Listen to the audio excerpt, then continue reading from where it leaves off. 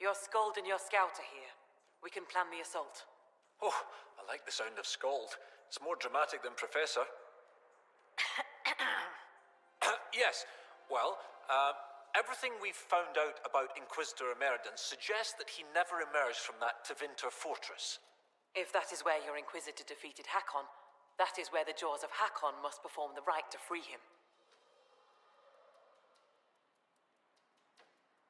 Good.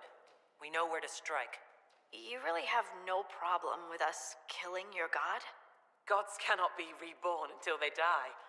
Hakkon needs a good rebirthing. If you say so. With its ice wall melted, the fortress is open to attack. We must strike soon, before our foes recover. They're already trying. I've got most of our forces defending the shrine from Hakkonites who want to restore the wall.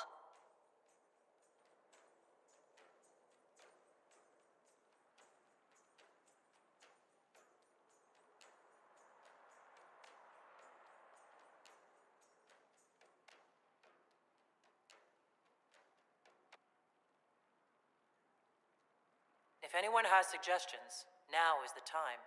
What gives you fear, Inquisitor? Is this not the battle you wanted? I'm no warrior, but with Lady Harding's forces defending the shrine and no way to breach the walls, Lowlanders. Why not climb the walls? Your warriors can get over those walls before the Hakkonites stop them? This is not a war, Stone Daughter. This is a raid. We strike at night, clad lightly. We climb the wall and open the gate from inside. If Stonebear Hold can open the gates, we would be grateful. The jaws of Hakkon have been bugs in my bedroll for months, Inquisitor. We owe you thanks. Inquisition forces will feign weakness near the shrine. That'll draw some of them away from the fortress. not too many, I hope. Yes, save some for us.